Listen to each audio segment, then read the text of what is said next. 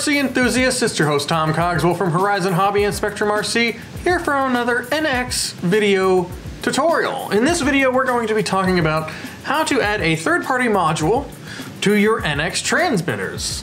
The NX transmitters have a special port on the back that is what we deem or call a serial port. It's kind of an accessory port, and it allows you to plug it into different third-party modules, such as the TBS Crossfire that I have here on the table. What you'll need to do this is this cable that we sell. It's actually been previously used for the iX12 and the iX20, but it also works for the NX6, the NX8, and the NX10. So personally, I just like to Velcro my Crossfire module onto the back of my radio. I use this dual lock Velcro, snap it on, and I plug in these two ports.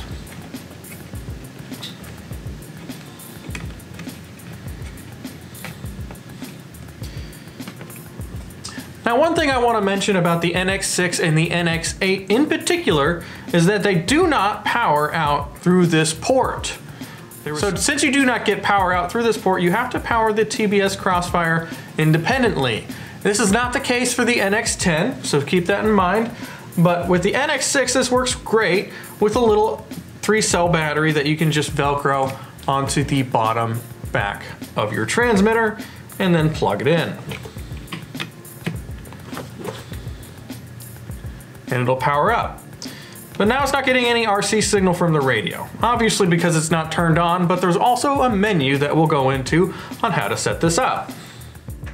All right, so the menu that I am mentioning, or what I'm talking about, is the serial port setup menu. This is in the system setup menu, so you just click the scroll wheel and you go all the way down to system setup, click yes, and you'll see serial port setup. Click there, and you'll have protocol at the top. When you select one of these protocols, it will inhibit the Spektrum RF, so that turns off your Spektrum antenna, essentially. And then, what we want to do is choose a Crossfire protocol. I would say just use Crossfire V2. If you're using a Ghost module from Immersion, you might use SRXL2. And over time, we may even add more protocols as we see fit. So we're gonna go to Crossfire V2, go back, go back to the main screen, and you'll notice that the, my middle bars here are no longer lighting up. That's because that indicates RF from Spektrum going out. Now if we flip our module over and look at the module, or look at the module rather, we will see that RC input says CRSF V2 or Crossfire V2.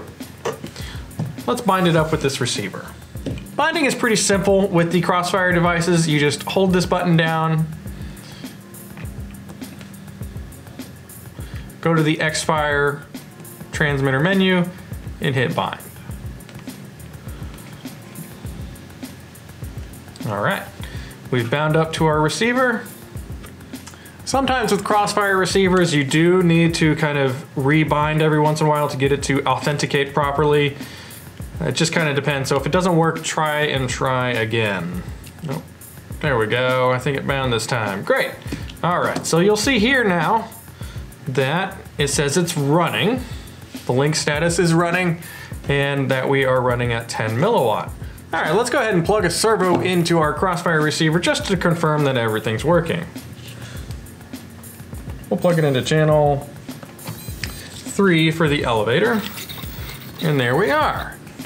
One thing I do want to mention is that if your Crossfire receiver is receiving telemetry from your device, let's say it's a Betaflight flight controller, it will pass through that information through to your NX6. So voltage, current, uh, things like that will be available on your NX6. So that's helpful if you like to be able to have that stuff on your heads-up display. And that's how you set up a third-party module like the TBS Crossfire with your NX6, NX8, and NX10. Again, I want to mention that the NX10 out of the three is the only one where you don't need an external battery to power the module. With the NX8 and the NX6, you will need those external batteries. This is Tom signing off for this video. If you guys have any other questions or comments or suggestions for more NX video series how-tos and tutorials, feel free to leave those in the comments below. Thanks again, and happy flying.